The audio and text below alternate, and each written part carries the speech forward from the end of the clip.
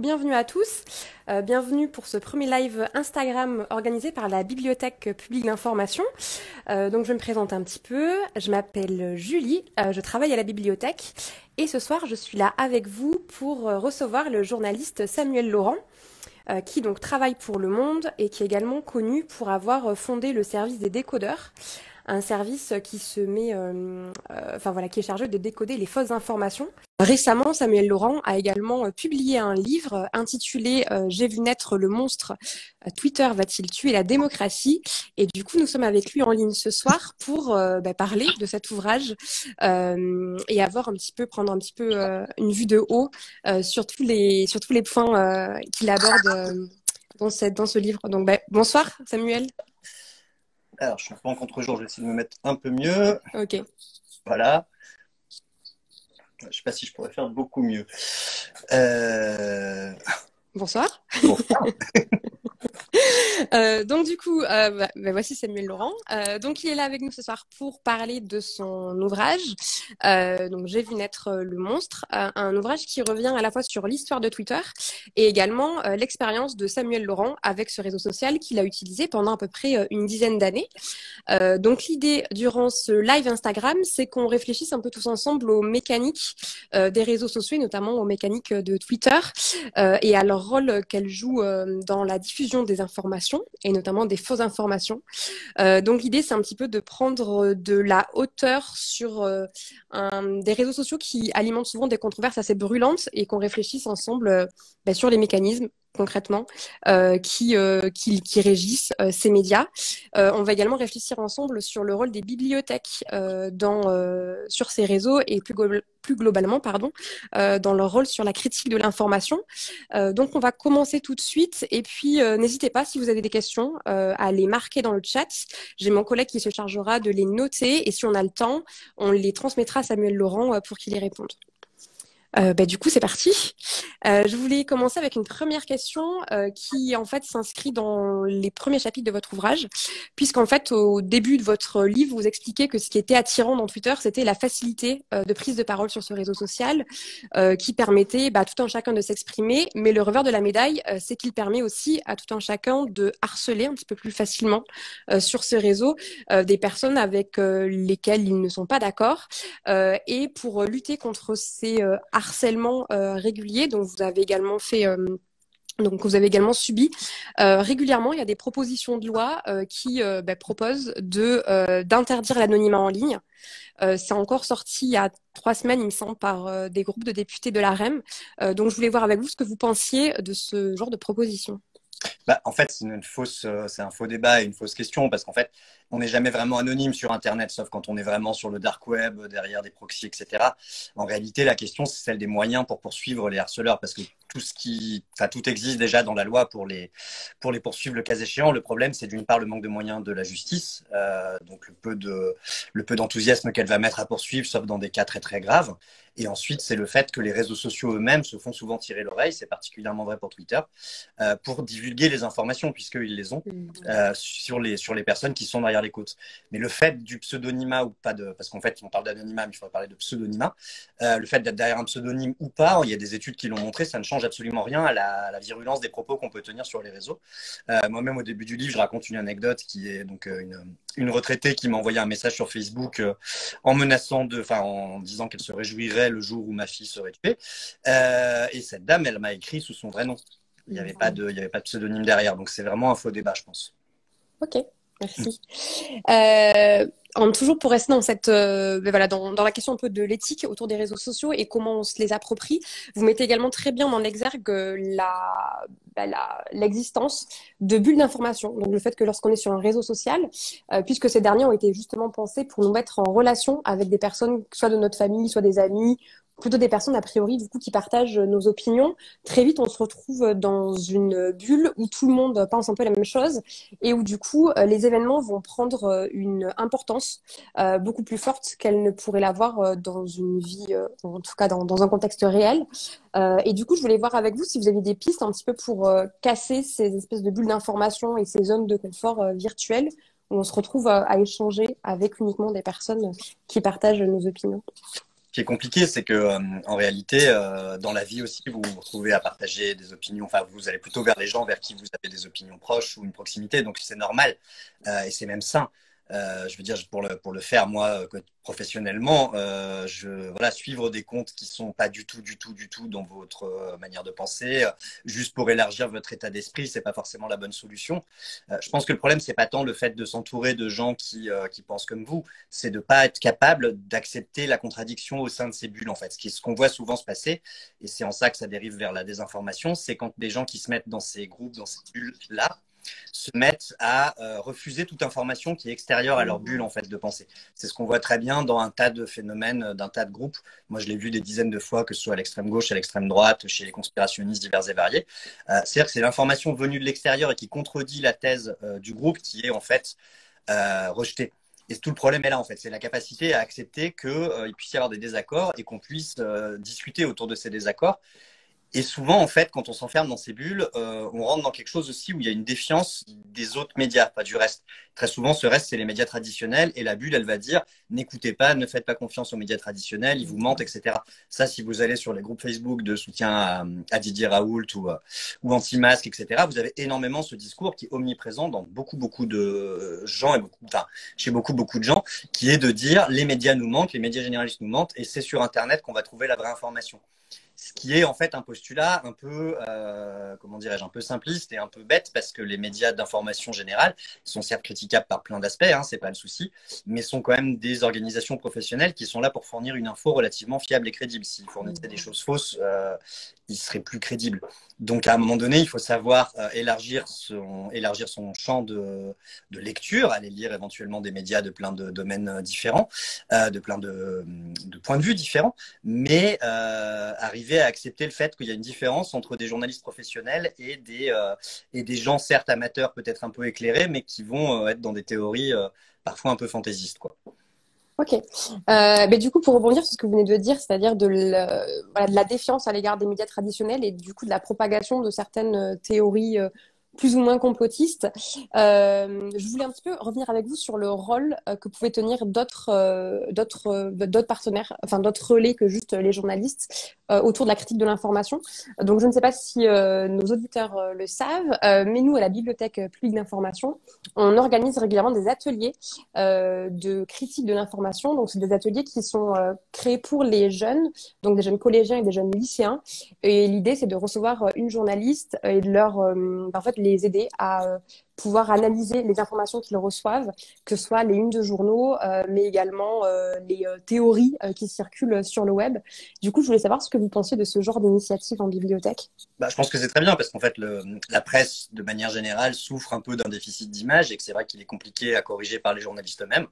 Donc, si d'autres acteurs peuvent s'engager là-dedans et essayer de faire comprendre que critiquer les médias ne veut pas forcément dire les rejeter en bloc et qu'on peut avoir un regard critique sur les médias et qu'il faut avoir un regard critique sur les médias, mais qu'il ne s'agit pas non plus de partir du postulat qu'ils sont tous euh, mensongers et membres d'un complot des élites ou autres. Euh, donc je pense que c'est intéressant d'aller euh, d'aller élargir à d'autres euh, d'autres endroits. Et puis d'apprendre effectivement à lire la presse, à lire un journal, à lire un journal télévisé, à comprendre les codes, à comprendre comment ça marche.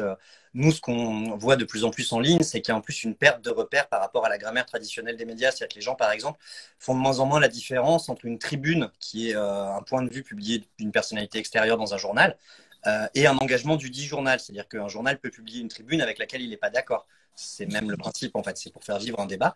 Et c'est vrai qu'on s'aperçoit que ce code-là est quelque chose qui était euh, connu, je pense, jusque dans les années 90-2000 sans problème par des gens qui avaient l'habitude de la presse écrite, mais euh, qui du coup euh, aujourd'hui se perd. Et du coup, les gens pensent que quand on publie une tribune, c'est une forme de, euh, une forme de caution qu'on lui donne, alors que pas toujours en fait.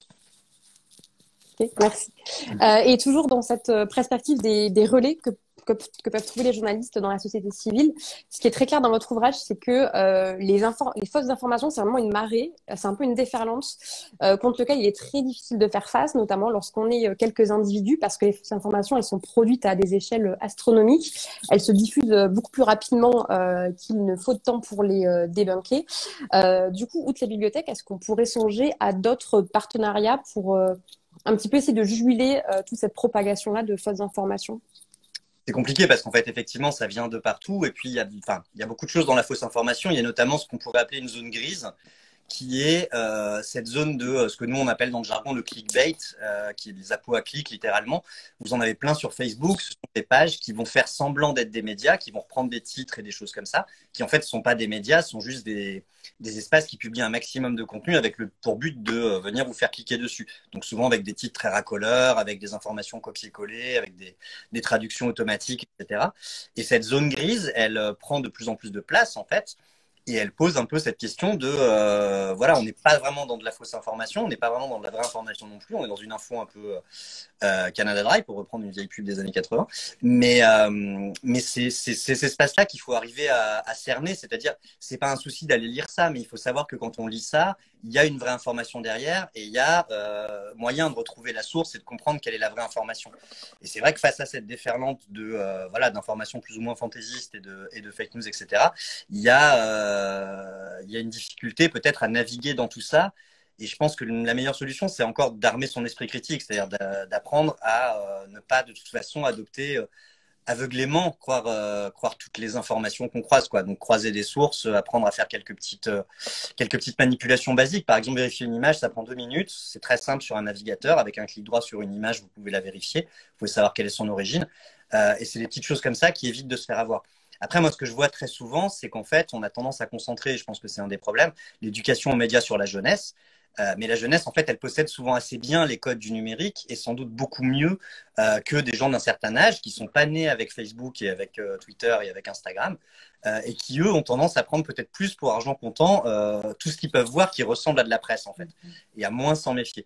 Et c'est vrai que quand on va sur, quand on travaille sur les, les, conspirationnistes, sur les groupes comme ça, on s'aperçoit qu'il y a pas mal de gens, de seniors, de gens un peu âgés, qui se font avoir. Et je pense aussi parce qu'il y a un effet de bombardement d'informations.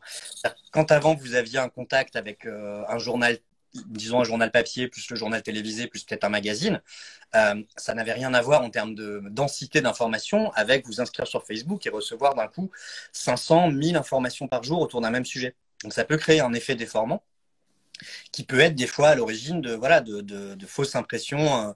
De, par exemple, euh, sur l'extrême droite, c'est un grand classique. C'est que les gens qui s'abonnent à, des sites et des comptes d'extrême droite vont recevoir une déferlante de faits divers qui en fait sont des faits divers qui sont traités dans toute la presse régionale, qui existaient déjà avant. C'est juste que euh, avant ils s'y intéressaient pas. Donc là d'un coup ils ont l'impression que mon Dieu c'est horrible, il y a des faits divers partout, c'est affreux.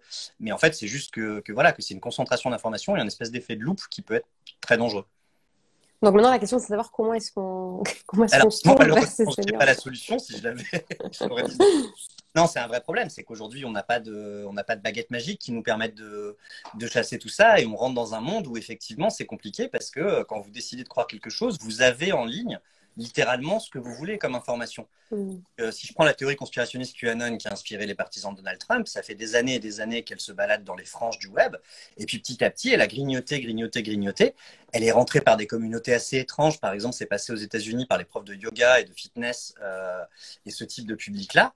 Euh, et puis, euh, le, voilà, l'épidémie de le coronavirus a déclenché aussi pas mal de réactions de gens qui étaient un peu affolés, qui allaient chercher de l'information un peu alternative et qui en sont venus à aller euh, vers les théories QAnon via ça parce que QAnon postule que évidemment c'est un complot, que le, coronavirus est une invention pour garder les gens chez eux, etc. Enfin, je ne vous fais pas le, détail, mais mais voilà, on vit dans un monde où effectivement c'est de plus en plus difficile de, enfin comment dire, c'est paradoxal parce qu'on n'a jamais été autant informé en volume, il n'y a jamais eu autant de contenu, mais comment faire le tri dans ce contenu, c'est ça qu'il faut arriver à apprendre à faire, quoi. Et c'est pas simple. Ce qui est intéressant aussi, c'est que vous avez signalé les images, le fait que très rapidement on puisse euh, donc vérifier les images.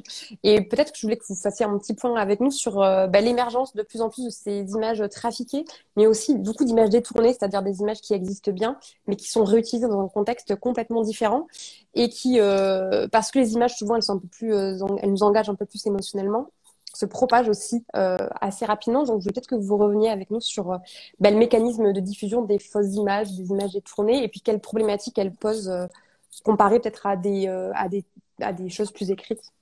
En fait, très souvent, l'image est utilisée euh, de manière générale sur les réseaux sociaux parce que c'est un vecteur d'émotion beaucoup plus fort qu'un texte.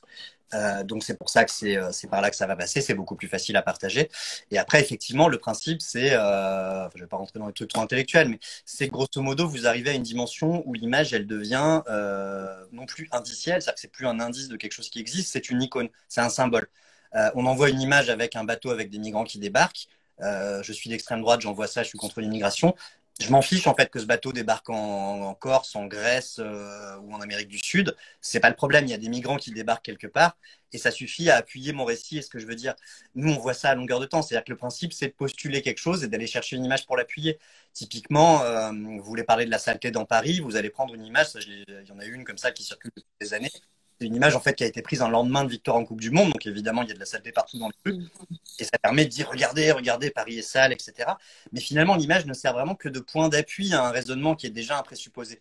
Donc après, euh, il n'y a même plus besoin d'être trafiqué. Effectivement, la plupart du il y en a quelques-unes qui sont trafiquées, mais la plupart du temps on s'embête même pas, on prend juste des images hors contexte. Et on va les utiliser pour euh, créer de l'émotion. Parce qu'en fait, quand on est sous le coup d'une émotion, quand on est en colère, quand on est, euh, c'est souvent ça l'émotion, ou triste, ou, eh ben, on réfléchit moins et c'est tout, l'intérêt en fait d'utiliser des, euh, des, images ou des vidéos, c'est d'y amener une dimension émotionnelle qui va pousser à la colère, qui va pousser à l'indignation. Et plus on s'indigne, moins on réfléchit en fait. Et plus on est dans une logique de ah mais c'est scandaleux, il faut faire cesser ça. Et nous, ce qu'on voit aussi qui est très compliqué, c'est qu'une fois qu'on a éprouvé cette émotion, c'est très difficile de comprendre qu'on s'est fait berner. Et c'est très difficile d'admettre qu'on a été en colère pour quelque part le mauvais motif par rapport à une image qui n'était pas euh, en fait euh, fidèle, on va dire. Ok. Ben, je pense que ça va donner du, euh, du, grain à moudre à nos collègues qui sont en train de préparer euh, des ateliers pour décrypter les images euh, à l'intention des jeunes, mais ça serait bien qu'on s'y mette tous concrètement. toujours pour rester dans cette thématique des, des, fausses informations et leur diffusion assez rapide, dans votre ouvrage, vous illustrez également très bien le fait que sur les réseaux sociaux, il y a une certaine horizontalité des savoirs, en tout cas que la parole est un peu égale en fait entre tous les acteurs. Et je voulais voir avec vous quelle place du coup on pouvait donner ou permettre de retrouver à des paroles plus expertes, euh, des scientifiques, des universitaires. Est-ce que c'est même, est-ce que c'est possible euh, qu'ils tiennent cette place? Est-ce que euh, Twitter c'est le bon endroit pour la tenir? Est-ce qu'il y a d'autres réseaux sociaux qui peuvent accueillir cette parole-là? C'est amusant parce que ce matin, justement, je regardais sur Twitter et il y avait deux journalistes généralistes qui s'en prenaient à un épidémiologue euh, autour du confinement. Et c'était fascinant parce qu'en fait, ils étalaient des vrais faux savoirs et ils étaient dans une position et une posture de euh, on sait aussi bien que toi. Alors que d'un côté, vous avez un épidémiologue spécialisé qui fait ça depuis 15 ans, et de l'autre côté, vous avez des journalistes qui sont certes bien informés, mais qui ne sont que des journalistes, qui ne sont pas des spécialistes de l'épidémie. Donc tout ça pour dire que ça touche tout le monde, en fait. Et que le problème, c'est que, euh, encore une fois, c'est l'émotion, l'indignation vous pousse aussi à avoir un avis, un avis moral. Et les avis moraux, tout le monde en a, forcément, tout le monde a une opinion sur les choses. Le problème, c'est d'arriver à reconnaître l'expertise et d'arriver à s'effacer derrière l'expertise et à dire, OK, je reconnais que cette personne, elle sait mieux que moi parce qu'elle a fait plus d'études, parce qu'elle est plus légitime.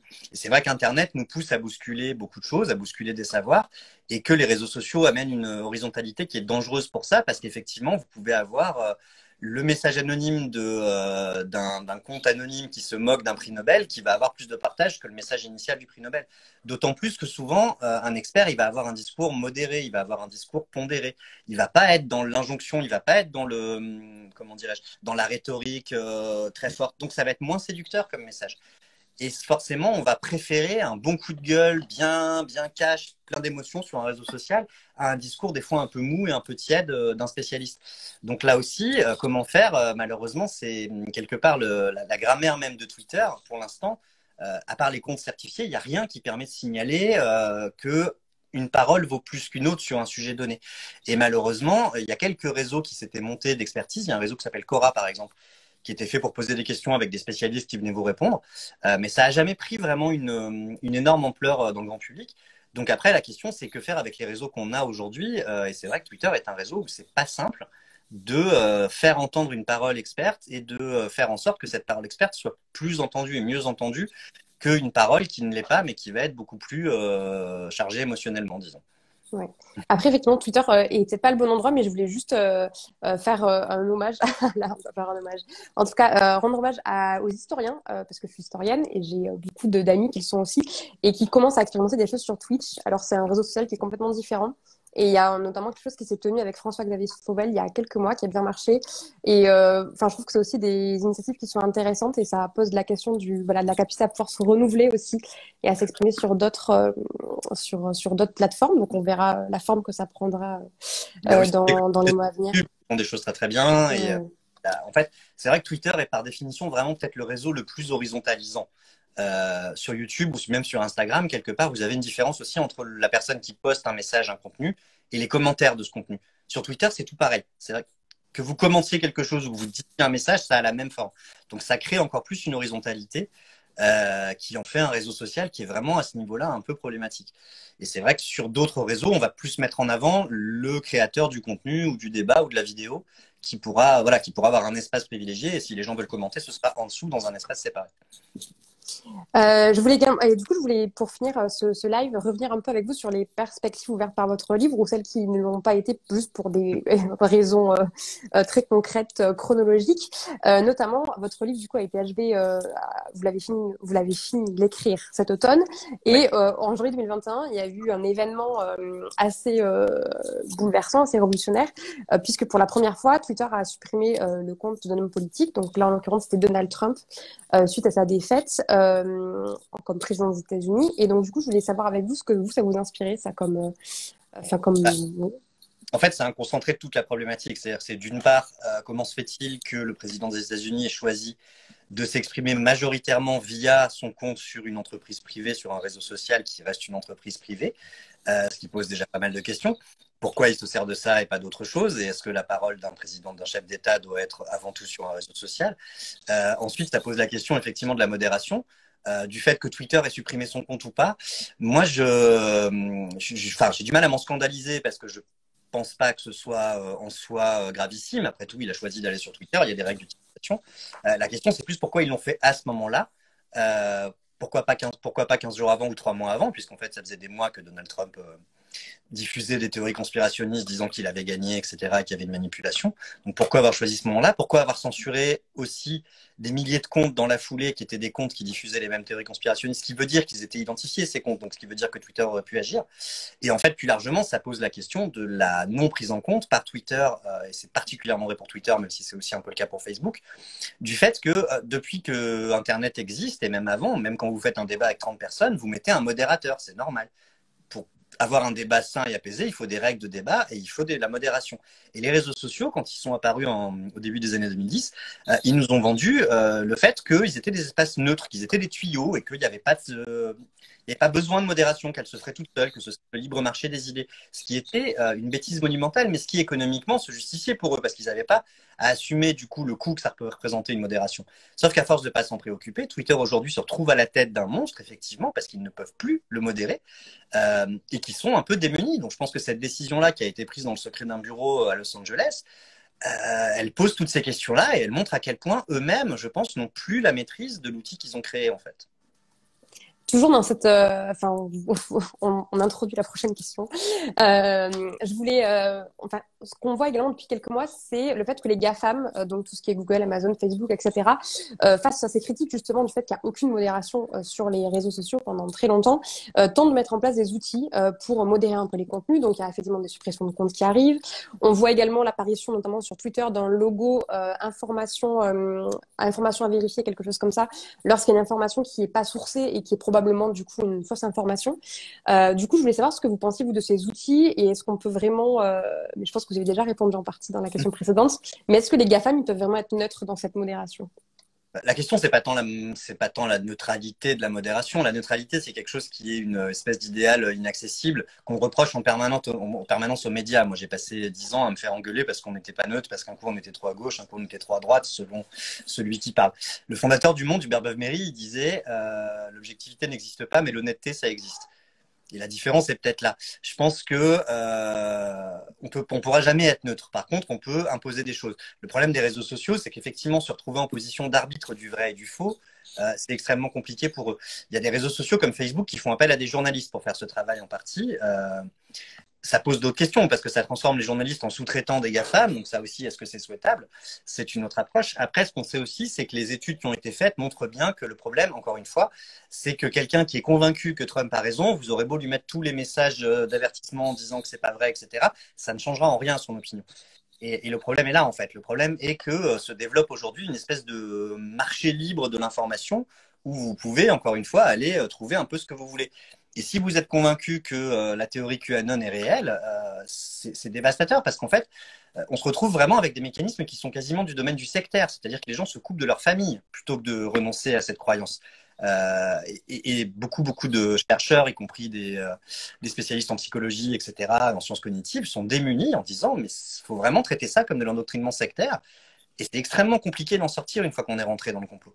Donc, face à ça, euh, même avec la meilleure volonté du monde, ce qu'ils ne font pas, les GAFAM n'ont pas non plus des solutions miracles à proposer, quoi, parce, que, parce que malheureusement, il n'y en a pas. Ouais, euh, effectivement, c'est. Euh, non, non, mais non, non, mais c'est vrai que c'est hyper compliqué. Enfin, vous montrez très bien qu'il y a, en fait, c'est beaucoup de mécanismes psychiques sur lesquels euh, là, il est très très compliqué d'avoir une quelconque influence malgré toute la bonne volonté du monde.